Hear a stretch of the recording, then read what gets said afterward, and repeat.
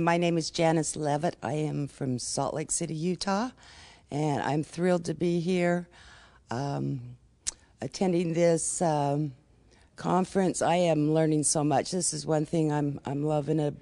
We're getting a lot of instructions, um, a lot of direction.